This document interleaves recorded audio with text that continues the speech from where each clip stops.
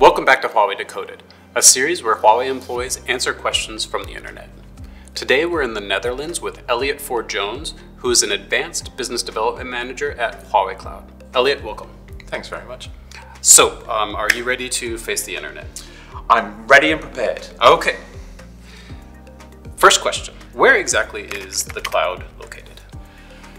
Well, most people would think it would be in the sky. Yeah, However, that is what I think actually. it's really a distributed network of computing resources. okay, what do you mean by that? Well, it's a bunch of servers that are located in multiple data centers all across the world. Okay. And what's the benefit of that? Shared resources of compute power, Okay. storage, Okay. memory, uh, the availability and access to all of the uh, kind of computing resources that you may uh, need for a particular project, Okay. rather than having it limited to just one system. Okay, so you say it's shared. Um, why would I want to share? That's a very American question to me, why would I want to share with somebody else? Why share with anybody?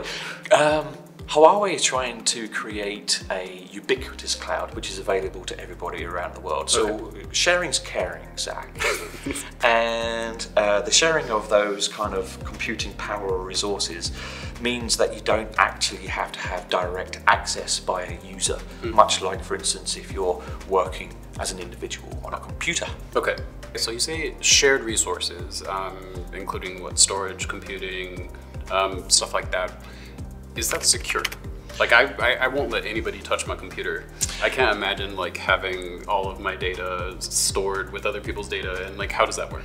Well, the cloud uh, covers multiple functions. Okay. Um, so, in a data center, which is generally speaking where we will place our servers uh, to have the connectivity with the telco providers that will allow your data to be shared not just locally but internationally.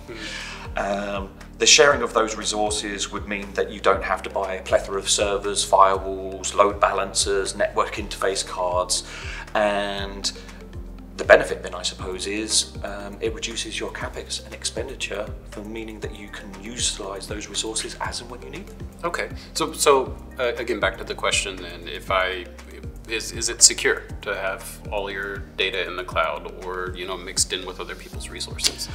You will always own the data that you have in the cloud. However, each service provider has the responsibility to ensure that that data is always available and secure. Okay. You uh, could even use a cloud resource, for instance, like containers, which would allow you to offer that resource of storage of a project or uh, information pertinent to a particular person or to a particular project, and you can share that within a group of people, giving them authorization and access. So, generally speaking, in the cloud, just like your PC, everything will be controlled and only being given permission through authorized access. The cloud provider must retain some of that data purely for data recovery and retention. Okay, okay. So moving on, let's get a couple questions specifically about the company. Um, there's a lot of cloud providers out there. Um, what is special about Huawei Cloud?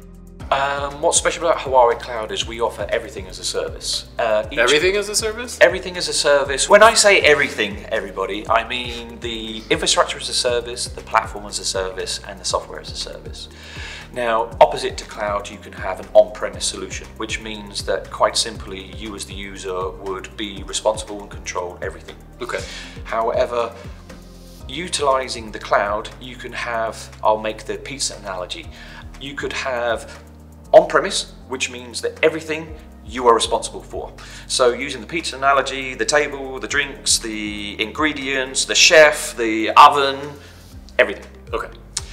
However, if you would then prefer to outsource some of that, in other words, you don't have the appropriate uh, supply of goods, you can use infrastructure as a service, which would basically means that you're outsourcing the kitchen.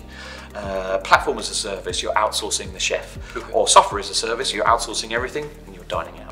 Okay. So, in other words, Zach, we offer everything as a service. Literally everything. Literally everything. Um, as I'm going to hold you to that. well, I can give you clear Okay. examples. I mean, one of the services that we've been offering recently that's made a huge change in weather prediction. Okay. We're using Huawei AI technology to provide a better predictive model. In other words, we're not just using the old mathematical models, we're using AI models to predict the future, to be proactive rather than reactive.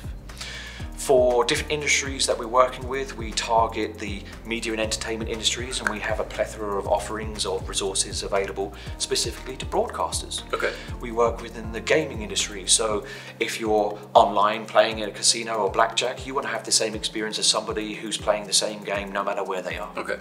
Now I'm hungry. Thank you for that.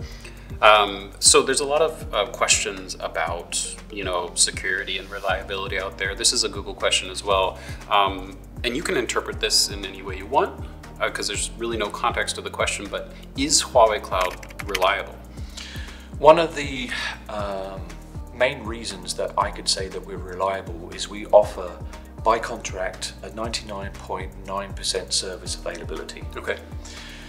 I've mentioned already that our users want to always have our data uh, to be always available. Mm-hmm. But as you're mentioning, and as our audience is asking, is that data secure? Mm-hmm. I've also mentioned in my answer that we work together with international global partners. So the responsibility is not only ours. Each of these international, well regarded organizations also has the responsibility to help us to secure that data and to always make sure it's available to our customers in the cloud. Okay, so it's like a shared responsibility model. Indeed, I'd Okay. say yeah. So service providers, partners enable us to provide cloud services with 99.9% availability to our customers. Okay. And our final question today: Who owns what's in the cloud? Each user, you, owns all of your data. Okay. However, the service provider, like Huawei, needs to retain certain limited data for backup and recovery purposes. Okay. We don't own that data, we have access to that data. So, as an example, when you're signing in to your uh, email accounts, every single time on whatever device that you're working on, it always asks you to put into your password. Okay.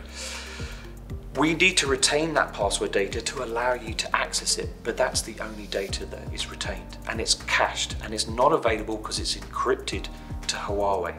So, the only user that can use that data will be you. Okay. And, and I'm going to ask this again because this is a big thing in the news these days and stuff like that. But can a cloud service provider, say I have, you know, my files in the cloud or whatever in the cloud, could they, without my authorization, access that information? No, the permission has to be granted by the user. Okay. The service provider will only retain and cache the data for two reasons backup and replication. Okay.